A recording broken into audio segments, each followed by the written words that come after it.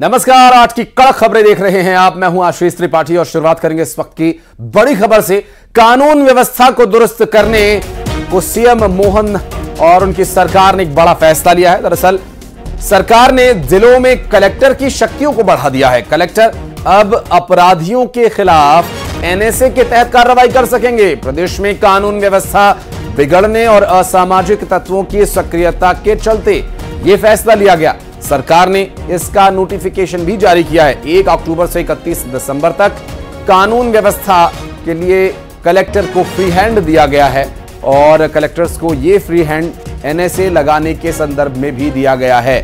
अब एक कलेक्टर की शक्तियों में इजाफा किए जाने के बाद कानून व्यवस्था लॉ एंड ऑर्डर और अपराधियों पर लगाम लगाने के लिए ये कितना कारगर साबित होगा, इस पर बात करेंगे हमारे सहयोगी शैलेंद्र भदौरिया, जुड़ गए हैं। शैलेंद्र, कलेक्टर की शक्तियों को बढ़ाकर लॉ एंड ऑर्डर को कंट्रोल में लाने का यह प्रयास कारगर साबित हो सकता आने वाले वक्त में? बिल्कुल बिल्कुल। देखिए, जिस तरीके से बुलडोजर कार्रवाई पर सुप्रीम कोर्ट की अब रोक लग चुकी है और ऐसे में सरकार अब कुछ नया रास्ता तलाश रही थी, जिसके जल्दी ज़रिए मध्य प्रदेश में जिस तरीके से लगातार अपराध जो बढ़ रहे हैं, जिस तरीके से नाबालिग बच्चियों के साथ दुष्कर्म की वारदातें सामने आई, या जिस तरीके से तमाम तरह के उपद्रव जिस तरीके से देखने को मिल रहे हैं, उन सबको रोकने के लिए मध्य प्रदेश सरकार ने एक नया उपाय तलाशा है कि अब कलेक्टरों को सख्तियाँ दे दी शक्तियाँ बढ़ा दी गई हैं और उसके साथ ही उनको एनएसए के मामले में फ्री हैंड दिया गया है। यानी जो लोग अगर कोई ऐसा काम करते हैं, जिससे समाज को हानि पहुँचती है तो ऐसे लोगों पर रासुका लगाने की कार्रवाई अब कलेक्टर सीधे तौर पर कर सकेंगे। पहले ये था कि जब एसपी जो है, वो इसको आवेदन प्रतिवेदन जो है, वो कलेक्टर को भेजता था, और कलेक्टर कहीं ना कहीं राज्य सरकार से उसको इस बात की अनुमति लेनी होती थी कि क्या वह रासुका इस पर लगा सकता है या नहीं लगा सकता क्योंकि संबंधित व्यक्ति जिस पर रासुका लगाई जा रही है, उसके अपराध को ध्यान में रखते हुए ये रासुका की कार्रवाई की जाती थी। अब सीधे तौर पर कलेक्टर को फ्री हैंड दे दिया गया है कि मध्यप्रदेश में जो भी व्यक्ति कानून के साथ खिलवाड़ करता है या मध्य प्रदेश के लॉ एंड ऑर्डर को बिगाड़ने का काम करता है या समाज में विभेद पैदा करने का काम करता है तो ऐसे लोगों पर अब सीधे तौर पर कलेक्टर रासुका की कार्रवाई कर पाएँगे। राज्य सरकार की तरफ़ से नोटिफिकेशन जारी कर दिया गया और एक अक्टूबर से इकतीस दिसंबर तक के लिए ये नोटिफिकेशन जारी किया गया है कि आने वाले दो महीने अक्टूबर, नवंबर, माफ़ कीजिएगा, तीन महीने, अक्टूबर, नवंबर और दिसंबर, तीन महीने ऐसे होंगे जहाँ पर कलेक्टर के पास इतनी शक्तियाँ होंगी कि वो अपने विवेक अनुसार जो है वो रासुका की कार्रवाई कर सकेगा और जो भी अपराधी इस तरह के कृत्य में पाया जाता है, उसके खिलाफ सीधे तौर पर एनएसए की कार्रवाई की जा सकेगी। जी। स्वाभाविक है और यदि ये तीन महीने शैलेंद्र कारगर साबित होते हैं तो संभव है कि उसके बाद इसे कंटिन्यू भी किया जा सकता है। हालाँकि इसका प्रभाव कैसे जिलों में लागू होता है और कैसे इसका असर होगा, इस पर भी आगे डिटेल लेंगे आपसे। बहुत शुक्रिया आपका फ़िलहाल इस पूरे मामले पर जानकारी देने के लिए। बढ़ते हैं आगे। हरदा ज़िले से अगली खबर, जहाँ पाँच साल की बच्ची के साथ दुष्कर्म करने वाले आरोपी की तलाश लगातार जारी है। पुलिस ने thermal image night vision drone मंगवाया है और ये आरोपी सुनील के जंगल में छिपे होने की सूचना मिलने के बाद ड्रोन की मदद ली जा रही है और ड्रोन की मदद से 50 किलोमीटर दूर सिराली क्षेत्र के जंगल में आरोपी की तलाश जारी है। हरदा और खंडवा ज़िले में पुलिस लगातार खोजबीन कर रही है, लेकिन आरोपी अभी भी पुलिस की गिरफ्त से दूर है। पुलिस ने दावा किया कि आरोपी को जल्द ही पकड़ लिया जाएगा। और आप देख सकते हैं कि थर्मल कैमरा जो रात्रि के समय तापमान के अनुसार एक इमेज जनरेट करता है और रात के अंधेरे में, घने जंगल में जरा भी हरकत होने पर उस कैमरे में इसे रिकॉर्ड किया जा सकता है, इसे देखा जा सकता है। इन दिनों से हम लोग आरोपी की तलाश कर रहे हैं और वो अभी हमारी गिरफ्त में आया नहीं है। तो अब हमने उसको रात्रि में गिरफ्तारी के लिए, उसको ढूँढने के लिए हमने थर्मल ड्रोन का उपयोग किया है और थर्मल ड्रोन के सहारे से आज उसकी रात को हम संभावित जगहों में तलाश करेंगे और अगर वो दिखाई देता है तो उसकी उस प्रकरण में गिरफ्तारी की जाएगी। यहाँ पे आया हूँ एक व्यक्ति, संदिग्ध व्यक्ति की सर्च के लिए और अभी रात के 12 बज रहे हैं और हमारे पास थ्री है थर्मल कैमरा है। जिससे हम ये पता लगाएँगे कि वो जंगल में कहाँ छुपा हुआ है और उसकी मतलब लोकेशन एग्जैक्ट क्या है और हम ये पूरी कोशिश करेंगे कि वो मिल जाए। और बात करेंगे हमारे सहयोगी प्रवीण तंवर इस वक्त हमारे साथ जुड़ गए हैं। प्रवीण ये जो ड्रोन इस्तेमाल किया गया नाइट विजन के लिए थर्मल कैमरे का कितना कारगर हुआ और क्या कुछ डिटेल्स मिल पा रही है इस बारे में? जी हाँ तीन दिन पहले हरदा में एक मासूम बालिका के साथ दुष्कर्म की घटना हुई थी। उसके बाद जो है, आरोपी को पकड़ने के लिए पुलिस लगातार प्रयास कर रही है, लेकिन पुलिस की पहुँच से अभी आरोपी दूर है। पुलिस को कल सूचना मिली थी कि जो आरोपी है, वो जंगल की ओर देखा गया। उसके हुलिये के आधार पर कुछ लोगों ने सूचना दी थी कि वो जंगल में इस तरीके का एक आदमी घूम रहा है। उसी को लेकर जो है पुलिस सतर्क हुई और जंगल में सर्चिंग की शुरुआत हुई। लगातार पुलिस ने सर्च किया, उसके बाद भोपाल से जो है नाइट विजन कैमरा मंगाया गया। ये कैमरा जो है अपने आप में काफ़ी खासियत लिए हुए है। इसके द्वारा जो है रात को जंगल में देखा जा सकता है, जिसपे कैमरे के द्वारा जंगल ग्रीन दिखता है और साथ ही कोई इमेज दिखने पर जो है वो सफ़ेद दिखाई देता है और उसी को इंडिकेट वो करता है, उसके अनुसार ही जो है पुलिस उस लोकेशन पर पहुँच सकती है। और इस कैमरे के द्वारा जो है कल रात को भी जंगल में सर्चिंग की गई, लेकिन फ़िलहाल जो अभी हमारे पास अपडेट है कि आरोपी पुलिस की पकड़ में नहीं आया है और पुलिस उसकी लगातार सर्च कर रही है। बीती रात भी जो है सुबह पाँच बजे तक यह पुलिस ने जो है सर्चिंग की लेकिन आरोपी पुलिस की गिरफ्त से बाहर है। मैं आपको यहाँ बात, बात बताना चाहूँगा कि हरदा ज़िले के अलावा खंडवा ज़िले की पुलिस भी जो है आरोपी को ढूंढ रही है क्योंकि आरोपी जो है खंडवा का रहने वाला है। तो खंडवा पुलिस को भी जो है अलर्ट किया गया उसके घर पर उसके रिश्तेदारों से भी पूछताछ की गई सख्ती से लेकिन आरोपी का सुराग नहीं लगा। उसके पीछे एक बड़ा कारण यह है कि आरोपी जो है कुछ दिन पहले ही जेल से छूटकर आया था और ऐसा बताया जा रहा है कि काफ़ी शातिर बदमाश है और दो एक बार जो है वो सिराली क्षेत्र में जो है कैमरे की नज़र में भी आया था, लेकिन पुलिस उसको पकड़ नहीं पाई। अब यहाँ पर पुलिस को के लिए काफ़ी बड़ा चैलेंज है क्योंकि आरोपी किसी भी तरीके से ना तो मोबाइल का उपयोग कर रहा है, ना ही किसी से बात कर रहा है, इसलिए उसकी लोकेशन ट्रेस नहीं हो पा रही और पुलिस को काफ़ी दिक्कत भी इस पूरे आरोपी को पकड़ने में आ रही, लेकिन एक बड़ा सवाल ये है कि घटना के तीन दिन बाद भी जो है आरोपी पुलिस की गिरफ्त से बाहर है। जी। नज़र बनाए रखिएगा प्रवीण आप पुलिस से जो भी अपडेट मिलेगा उस पर जानकारी लेने के लिए फिर संपर्क करेंगे आपसे। बहुत शुक्रिया। राजधानी भोपाल के पहचान बड़ा तालाब। बड़े तालाब में पेशाब करते एक शख्स का वीडियो सामने आया। विश्व में बड़ा तालाब से भोपाल की पहचान है। राजा भोज की प्रतिमा के सामने वीआईपी रोड पर खड़े होकर एक शख्स पेशाब कर रहा था। रास्ते से गुजर रहे लोगों ने इसका वीडियो बनाया और बड़ा तालाब पेयजल के साथ साथ बॉर्डर स्पोर्ट्स और टूरिज़्म का भी एक बड़ा केंद्र है। शख्स के इस करतूत से लोगों में काफ़ी नाराज़गी देखी जा रही है। है कि शराब के नशे में रहा होगा और। हालाँकि इस बारे में कोई जानकारी नहीं है। और एक शख्स जो कि बड़ा तालाब में पेशाब करता हुआ एक कैमरे पर रिकॉर्ड हुआ और उसकी गाड़ी का ये नंबर भी वहाँ पर मौजूद लोगों ने इसका वीडियो बनाया। और पेशाब कर रहा बड़े तालाब में भोपाल से तस्वीरें सामने आई हैं। तो इस तरह की धरोहर और जलराशि को दूषित करना निश्चित रूप से एक गंभीर विषय हो सकता है। और इस, इस विषय पर कार्रवाई किए जाने की भी आवश्यकता हालाँकि भी इस शख्स की पहचान की जा रही है और इस तरह की हरकतों पर रोक लगाए जाने के लिए क्या प्रयास किए जाएँगे देखने का विषय। शक्ल दिखाना और रायपुर से बड़ी खबर, आज कोर्ट में शोएब ढेबर को सरेंडर करना है। दरअसल मारपीट के मामले में एसडीएम कोर्ट ने जमानत दी हुई थी और आज सेशंस कोर्ट में सरेंडर करेगा शोएब ढेबर। शोएब पर सिविल लाइन थाने में मामला दर्ज है और शराब घोटाला के आरोपी अनवर ढेबर का ये बेटा है शोएब। शराब घोटाला मामले में अनवर ढेबर जेल में बंद हैं और बेटा भी जेल जाने की तैयारी में है। मारपीट के मामले में एसडीएम कोर्ट में इसे जमानत मिली थी और आज सेशन कोर्ट में शोएब ढेबर की पेशी है और सिविल लाइन थाने में इसके खिलाफ मामला दर्ज है। शराब, घोटाला के आरोपी अनवर ढेबर का सुपुत्र शोएब, जो कि आज कोर्ट में सरेंडर करेगा।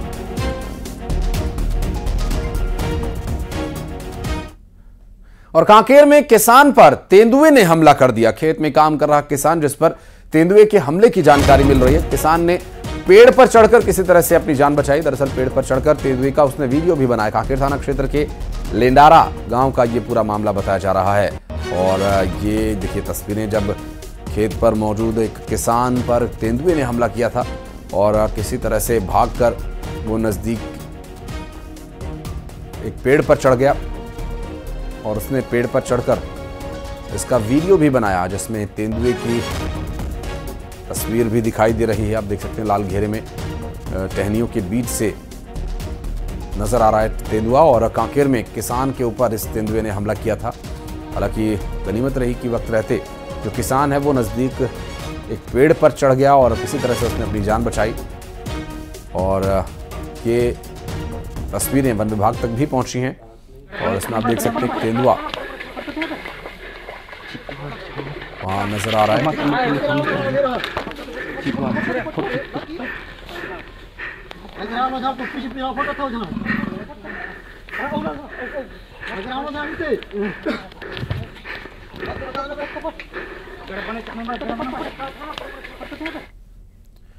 बढ़ते हैं आगे, जबलपुर के रांझी इलाके में एक मस्जिद को लेकर तनाव का माहौल बना हुआ है। विश्व हिंदू परिषद और बजरंग दल के सैकड़ों कार्यकर्ता मस्जिद को तोड़ने की जिद पर अड़े हुए हैं। हिंदुवादी संगठनों का यह आरोप है कि गायत्री बाल मंदिर की ज़मीन पर इसका अवैध निर्माण किया गया है। विश्व हिंदू परिषद और बजरंग दल के कार्यकर्ताओं में गुस्से को देखते हुए पुलिस और प्रशासन ने भी वहाँ भारी संख्या में मुस्तैदी की हुई है। कई थानों का पुलिस बल यहाँ पर तैनात किया गया है और साथ ही मस्जिद के रास्ते को भी सील कर दिया गया है। विश्व हिंदू परिषद और बजरंग दल के नेताओं ने ऐलान किया कि अगर जल्द इस कार्रवाई न की गई। जाँच कर अवैध मस्जिद को तोड़ने का एक्शन न लिया गया तो 10 दिन के बाद वे खुद ही इसे गिरा देंगे।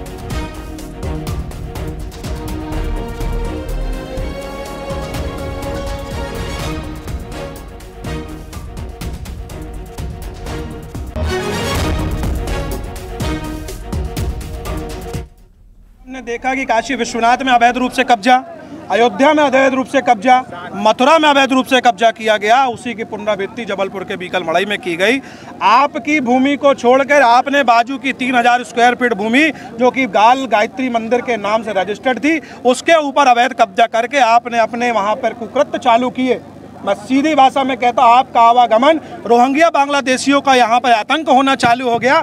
दूसरे प्रदेशों से आके यहाँ रहने लगे जिनका आधार कार्ड या कोई भी चीज़ मांगी जाती थी तो वो यहाँ लोकल की नहीं निकलते थे। इस मड़ई बीकल क्षेत्र में इतना आतंक बढ़ गया है रिछाई में लूटपाट होने लगी मड़ई में लूटपाट होने लगी चाकूबाजी होने लगी और पुलिस को आज तक नहीं पता चल पाया कि अपराध कहाँ से बढ़ रहे आज विश्व हिंदू परिषद और बजरंग दल के जो संगठन के लोग हैं उनके द्वारा एक यहाँ पे प्रदर्शन किया गया और एक ज्ञापन एसडीएम साहब को दिया गया। है। सभी संगठन के लोगों का कहना है कि यहाँ पे जो मड़ई में मस्जिद बनी हुई है, वो किसी पर्सनल किसी व्यक्ति की ज़मीन पे इंक्रोचमेंट करके बनाई गई है। तो संगठन का ये कहना है कि इसका जल्दी से जाँच किया जाए और यदि ये सही पाया जाता है, यानी इंक्रोचमेंट करके अगर मस्जिद का निर्माण किया गया तो उसका उतना पोर्सन जो है इलीगल जो बना है, उसका डिसमेंटल किया जाए। तो हमारे जो एसडीएम साहब रांझी के इनके द्वारा ज्ञापन लिया गया और उनको आश्वस्त किया गया कि इसमें जल्दी जाँच की जाएगी।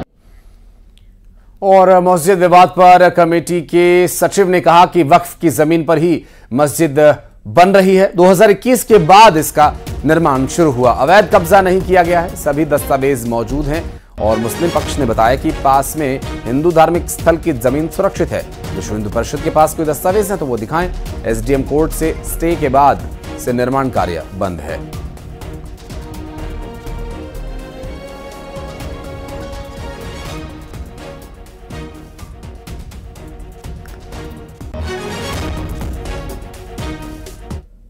मामला नहीं है है ना? हमारी जो भी जो मस्जिद बनी हुई है, वो सब रजिस्ट्री वाली ज़मीन में बनी हुई है। और कहीं से कोई अवैध निर्माण नहीं है है ना? जो ये आवेदन दे रहे हैं, लगभग तीन साल से ये आवेदन दे रहे हैं, दिए हुए हैं। न्यायालय में जो मामला चला है, आज तक इनकी उपस्थिति कभी न्यायालय में नहीं हुई। एसडीएम साहब हैं, उनके पास इसका राइट्स ही नहीं है कि वो इस मामले को सुनवाई करें। है ना? सुनवाई का अधिकार ही नहीं है, क्योंकि वक्फ की प्रॉपर्टी है रजिस्टर्ड प्रॉपर्टी है, और वक्फ की प्रॉपर्टी में एक्ट में प्रावधान जो है, वो ये है कि एसडीएम एसडीओ इवन कलेक्टर तक को यहाँ सुनने का अधिकार नहीं है। है ना? ये जो भी जाएगा, ये ट्रिब्यूनल में जाएगा, या हाई कोर्ट में जाएगा।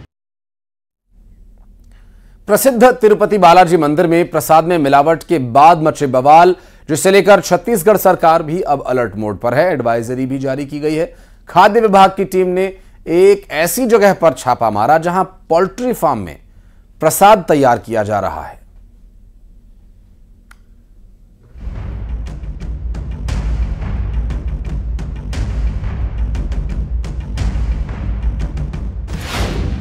पोल्ट्री फार्म में प्रसाद। ऐसे तैयार हो रहा है इलायची दाना। डोंगरगढ़ में होती है प्रसाद की सप्लाई। आस्था से खिलवाड़। पहले प्रसाद की पुड़िया पर जो लिखा है उसे पढ़िए। साफ़ और पवित्र वातावरण में निर्मित। जगह कितनी साफ़ सुथरी है, उसे पहले हम आपको बता दें। ये एक पोल्ट्री फार्म है। जिस पोल्ट्री फार्म में मुर्गी बेची जाती है, लोगों की माने तो चिकन की बिक्री होती है। बालाजी मंदिर में प्रसाद में मिलावट के बाद मचे बवाल और आस्था से खिलवाड़ के सवाल के बाद छत्तीसगढ़ सरकार अलर्ट मोड पर है। मामला लोगों की श्रद्धा से जुड़ा है। इसके बाद प्रदेश सरकार ने एक एडवाइजरी जारी की थी, जिसमें देवभोग के घी का ही इस्तेमाल प्रसाद बनाने में किया जाना है। जिसमें राजनाथ गाँव के डोंगरगढ़ मंदिर और पाताल भैरवी मंदिर सहित अन्य शक्तिपीठ शामिल हैं। इसके बाद खाद्य और औषधि विभाग ने छापेमार कार्रवाई शुरू की। टीम को खबर मिली थी कि पोल्ट्री फार्म में प्रसाद तैयार हो रहा है। छापा मारा गया। स्त्री प्रसाद के नाम से इलायची दाना बनाया जाता है। इस प्रसाद की सप्लाई डोंगरगढ़ बमलेश्वरी मंदिर परिसर की दुकानों में की जाती है, जहाँ से प्रसाद मंदिर में चढ़ाया जाता है। भक्तों को ये प्रसाद भी मिलता है घर ले जाने के लिए। नारियल, इलायची दाना प्रसाद में शामिल होता है। जहाँ ये प्रसाद बन रहा है, उस दुकान का मालिक मजहर खान नाम का शख्स है। जानकारी मिली थी कि यहाँ पे जो मंदिरों के आसपास जो है या अन्य धार्मिक स्थानों के आसपास में यहाँ से इलायची दाना जो वहाँ जो सप्लाई होती है वो इलायची दाना यहाँ पे पैक किया जा रहा है यहाँ से सप्लाई किया जा रहा है इसकी जाँच की जा रही है। तो सर उसमें क्या पाया जाए? प्राइमा फेसी तो जो पैकेट्स इनके द्वारा तैयार किया जा रहा है उनमें डेट टाइम बैच एक्सेट्रा नहीं है तो इसलिए गुणवत्ता जाँच करनी भी ज़रूरी होगी तो इनका सैंपल जो है वो आगे प्रोसीड किया जा रहा है कार्रवाई चल रही है। लोग इस बात से नाराज़ हैं कि आखिर पोल्ट्री फार्म जहाँ से मुर्गी बेची जाती है वहाँ क्यों तैयार हो रहा है प्रसाद का सामान? खाद्य टीम ने प्रसाद का सैंपल ले लिया है। अब जाँच के बाद ही साफ़ होगा कि कहीं कोई मिलावट तो नहीं। राजनाथ गाँव में राकेश यादव के साथ bureau report, news 18 Madhya Pradesh, Chhattisgarh. और बढ़ते आगे, अनूपपुर के बिजूरी में स्वच्छता अभियान की शुरुआत की गई। 17 सितंबर से 2 अक्टूबर तक चलने वाले इस अभियान में लोग बढ़ चढ़कर हिस्सा ले रहे हैं। भालूगुडार के मुख्य तालाब में स्वच्छता अभियान के तहत साफ़ सफ़ाई की गई और इस दौरान जनप्रतिनिधि, स्वच्छता कर्मचारी और समाज सेवियों ने सामूहिक रूप से श्रमदान भी किया।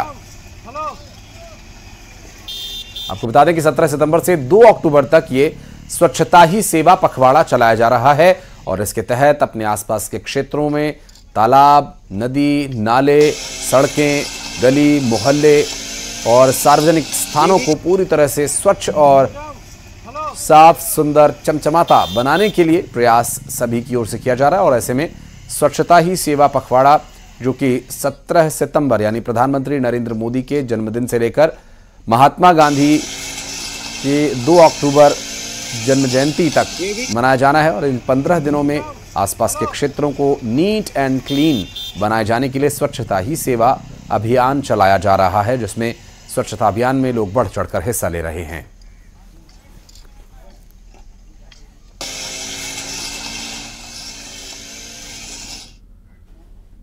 और अब बढ़ते आगे 20 बड़ी खबरें फटाफट अंदाज में। आज से कांग्रेस की छत्तीसगढ़ न्याय यात्रा, दीपक बैद समेत कई नेता होंगे शामिल।